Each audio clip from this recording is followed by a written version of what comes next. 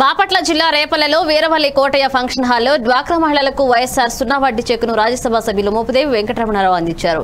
స్వయం సహాయక సంఘాల ద్వారా అరవై మూడు వేల మంది లబ్ధిదారులకు లబ్ధి పొందారని ఎంపీ అన్నారు. గ్రూపులకు వైఎస్ఆర్ సున్నా వడ్డీ పథకం ద్వారా ఐదు కోట్ల అరవై ఏడు లక్షల రూపాయలు అందించడం జరిగిందన్నారు.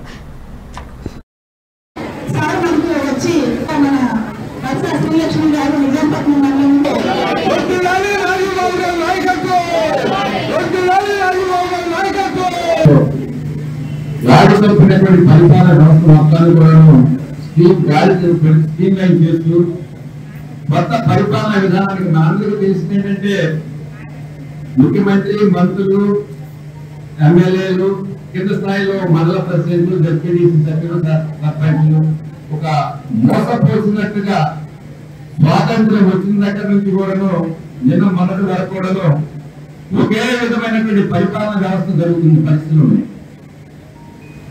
కానీ ఇవాళ ప్రజల యొక్క ఆలోచనలు మారుతున్నాయి. కొత్త జనరేషన్ వస్తుంది.